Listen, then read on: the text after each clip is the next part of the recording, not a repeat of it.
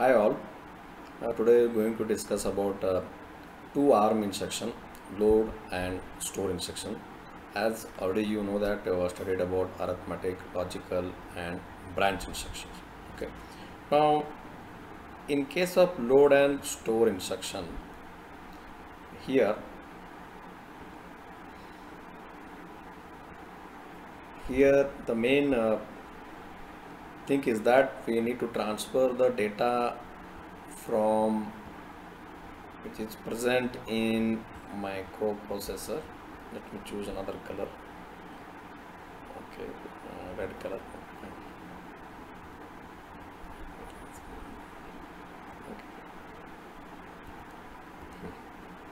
So from your ARM processor to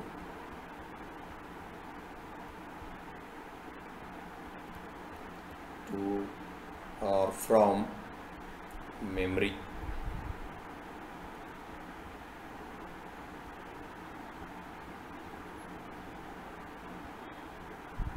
So we need to transfer data between memory and ARM processor.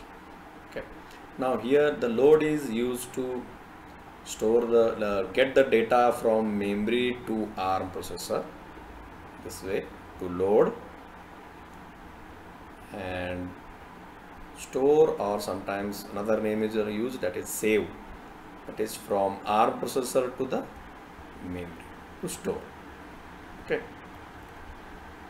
Now we'll go into the look into how it can be done from uh, transfer of data from ARM to memory then memory to the ARM so memory can be here it can be ROM or RAM also it can be different types of ROM or different types of ROM also.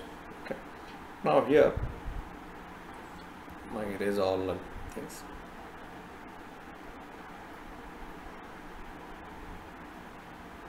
So that will okay. Now look at the instruction name is LDR LDR means load register here LD means load R means register similarly here STR means store register. St is store r is to register.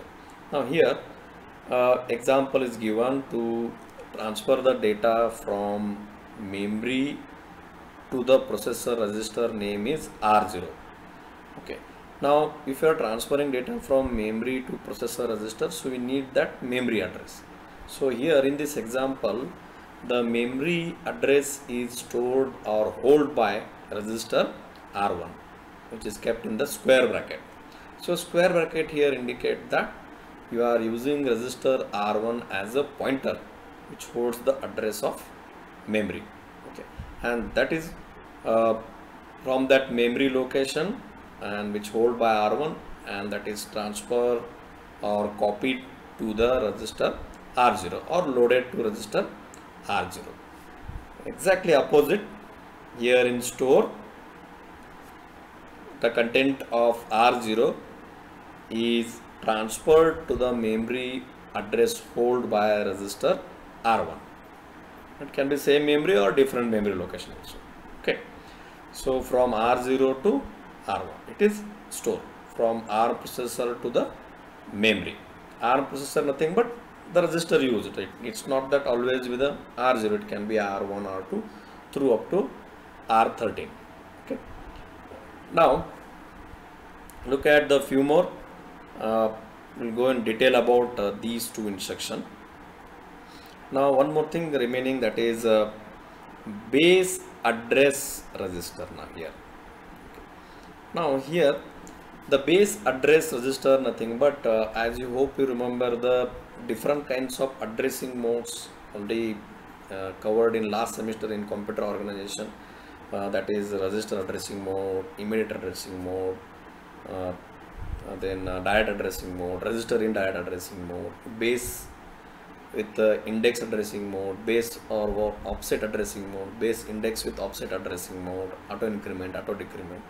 Here the R1 is used as a pointer which holds the beginning of if you are working with the array, the beginning of that array so the base address of that array that's why name is called here name is used base address register because R1 holds the base address or starting or beginning address of that array if you are working with array kind of data. Okay. Move on to next.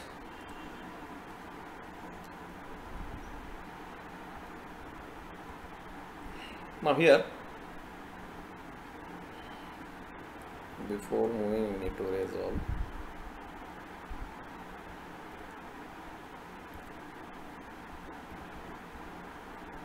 ah, here. Now here different uh, uh, different addressing mode also you can use it. Or you can transfer 32 bit data or 16 bit data or you can transfer the 8 bit data. Transfer can be between ARM and memory memory memory can be ROM or RAM also. Okay. Now here we can observe that if you use only LDR so it will copy 32 bit data. Okay even same thing str by default always because arm is 32 bit processor it will most of working with the 30 bit data. If you want byte wise so you have to use ldr b here b indicate byte. So it will copy only 8 bit of data or 1 byte data from the memory to the processor register. Similarly from processor register to the memory only 8 bit of information or 1 byte of information is transferred. Similarly we can use transfer the 16 bit data by using LDRH H. Means here half word okay. Now here similarly STRH to store or save the half word 16 bit data. You can use the signed you can go if you want to use some uh, working with signed bit data or signed word or signed numbers are there so you can use LDR yes here yes indicate that you are working with the signed number. Okay. Similarly here also this is for byte this is for half word nothing but this is 8 bit data this is 16 bit data. Uh, keep in mind that it does not work with the 32 bit data. Okay only with 8 signed numbers are going to work with only 8 bit 16 bit but uh, when you start writing the programs more frequently use the uh, these two LDR, STR, LDRH and STRH. Okay, uh, not frequently or that much used byte type. Most of 32-bit data are going to work with or even our lab experiments also are based on 32-bit data or 16-bit data. Okay. Even you can observe that uh, here can observe that uh, you can use different addressing modes. Okay. So this different addressing modes nothing but it can be base uh, address register just now I saw that. Uh, most widely used uh, register indirect addressing mode. Previously you observed that in square bracket uh, r1 is given that is register indirect addressing mode. Nothing but only register holds the address of memory. That's why instead of specifying directly to indirectly access the data from memory. Now you can use a base index. Similarly r r1 example we'll go back.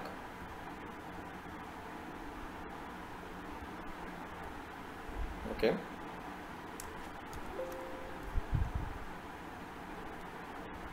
Erase all.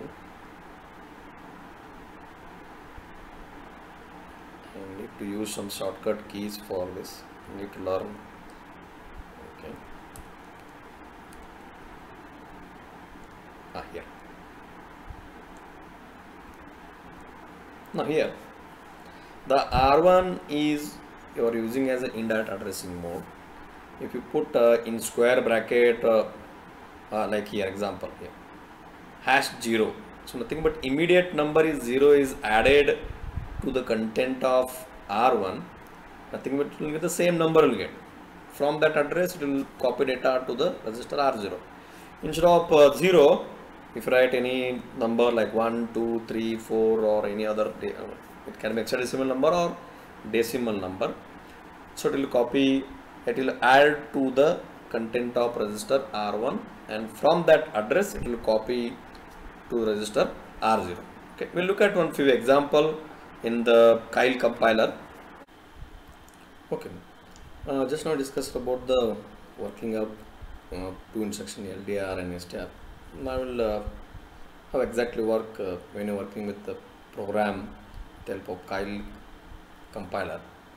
So this is the project already I've done it. So hope everyone know about how to create the project and the device name is you are using LPC2148.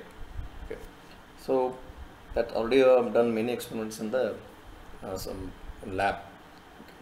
So before that, before going into working of this LDR and STR, you must know the RAM and ROM because uh, we are going to work with both uh, in LPC 2148 both RAM and ROM is there. So you should know the starting address and of ROM also and even RAM also. Okay. So how to check that address of RAM and ROM?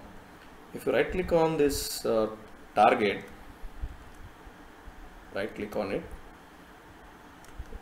right click on it and click on option. Option. It will pop up one window with the showing that with the target. Okay it's showing the target. Now here we can observe that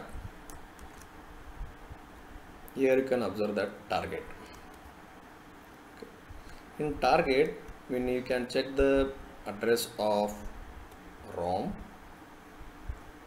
and even RAM. Okay. The beginning address or starting address. Okay.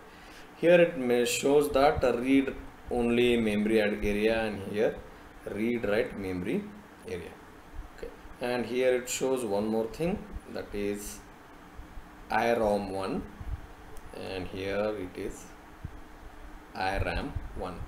These two both are both are on chip. These are all on chip. Okay. So these are all on chip ROM and this is also on chip ROM. Sorry RAM okay. The beginning address of RAM is 0 as and its size is around 8000 H it's almost equal to 64 kilobyte. Then RAM is also same but the beginning address is 4 eight uh, seven zeros and same size is also same. Now here these numbers are mentioned in hexadecimal. You can observe that 0x okay the x indicate that number numbers are in hexadecimal. So you should know that starting address of rom and ram because you're going to write some data into the ram or if you're going to re read only some data from the if already some data is already stored in the rom so that also you can retrieve it or uh, with the help of you can load it into any register also. Now we'll look at some uh, example.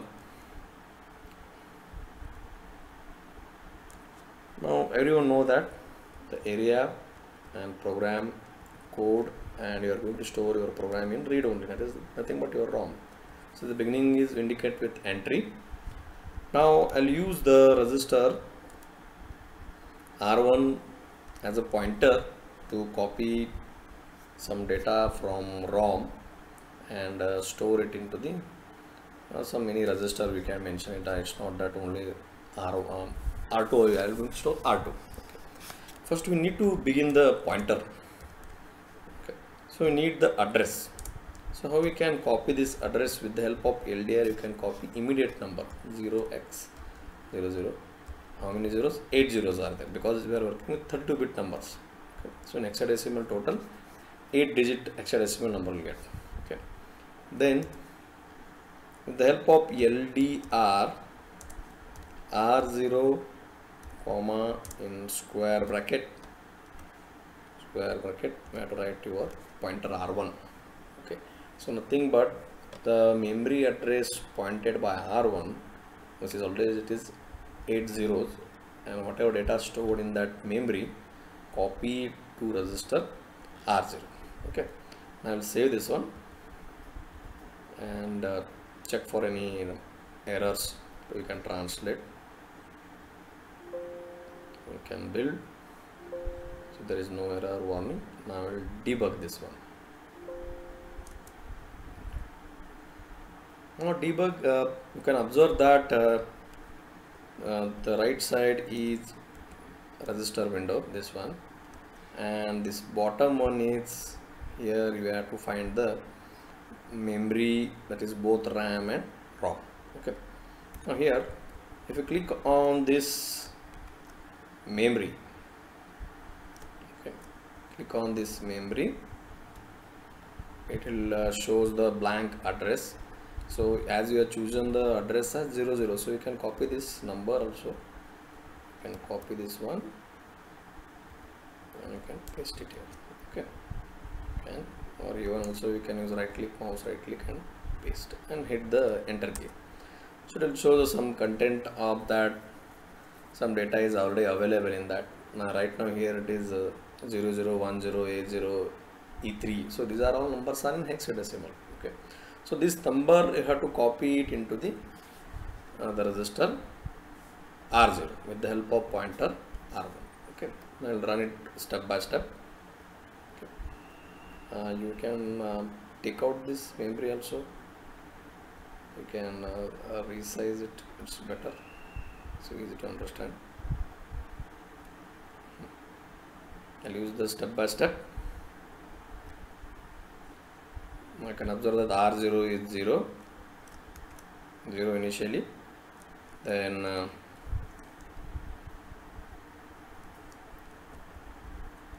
sorry.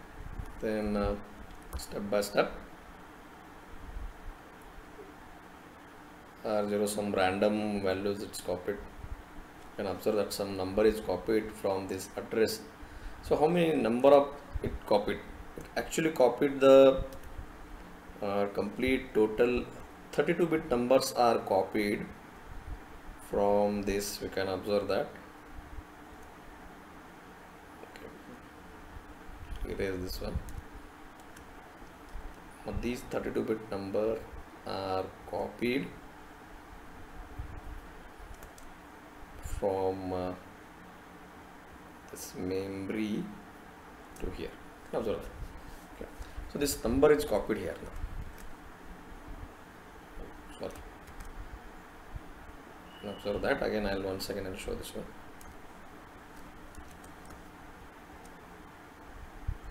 So this 32 bit hexadecimal number is copied to register R1 okay.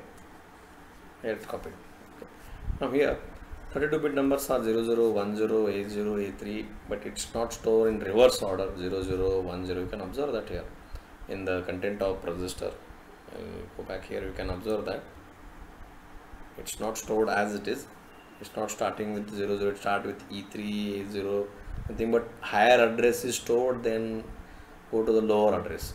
This is because of your arm lpc 2148 is a little endian processor first we'll copy the uh, lower address is always copied to the lower um, lower above first we'll copy the higher addresses. Then uh, goes on to the lower addresses. Okay. So this way the way of copying. In beginning will copy as it is. Okay. But lpc 21 is a little endian. Okay. now so this is the way you have to use the load now how to store this one? Now store storing nothing but we need to write data into the memory. So in the rom we can't write it. Only we can read it. So we need to store into the rom uh, sorry ram address. So we need first address of your ram. Just now we saw that the address of ram is 0x470 okay. So i'll copy this L, uh, this number some other register r2 with the help of immediate addressing mode you have to use instead of in move if you are using it you have to use the hash. But in case of LDR you have to use the equal. Okay. 0 is 4 1 2 3 4 5 6 7 okay. Then you have to use the instruction yes str so how to write? R2 same. Sorry. Uh, uh, from which register are copying it? From r0 r0 to we are copying to the memory pointed by R2. So nothing but we're going to copy it into the RAM. Okay. Now here, uh, this memory one here, we can observe that here. Um, this is memory one now. Okay, just indicate the you are working with the ROM. Now to same thing to get the address, uh, same view for ram also we can achieve this one with the help of if you go to the here memory to click on memory 2 so this is i'll expand this a bit. Yeah. Now that this is memory 1 this is memory 2 now I, here i'll type the address and hit the enter key. So it will shows the 32 bit uh, whatever data is stored in that. Right now there is complete empty. Now I want to store these all uh, 32 bit number that is 0010A0 and E3 to the RAM whose address is 470H all numbers are in hexadecimal okay. So for that first I'll copy the that uh, memory address to register R2 and register R2 I am using as a pointer and content of R0 is already stored by the previous LDR earlier already some numbers are stored that I'll copy to the memory pointed by R2 nothing but we are going to store it in the RAM okay. Now I'll uh, save this one okay. But before that I'll come out from debug and I'll click and save this one build. So translate build. So there is no error. Then debug okay. Okay now all things are set now now only have to do step by step okay. So initially I can observe that here. R0 it will copy some data from RAM. So this is, this is the already data some stored in the RAM. It's copied into the R0 it's copied here you can observe that. Okay. now uh, now here um, from R2 R2 it will point to the 470H okay then that you are going to copy to the memory pointed by uh, by R2 content content of R0 will copy to the memory pointed by R2 okay.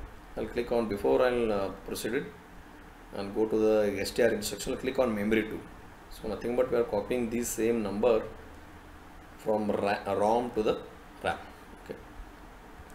now you can observe that same number is copied here 0010A0 and A3 which is there in the ROM the same number is copied here also. okay? Now here uh, from RAM also also you can read some data. Now for example same number you want to store it in uh, you want to load into the uh, register R3 so I'll come out first. The same number you want to store it into the R3 how we can store this one R3 uh, or sorry we can load into the register R3 so for that LDR already the pointer you are using R2 still it's there is no change in the R2 same. Okay. So right here R3 comma square bracket R2 okay. So save this one. Compile build or rebuild also you can do it. Then debug it.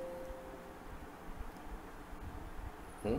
now uh, so already I'll uh, now I'll store the data first.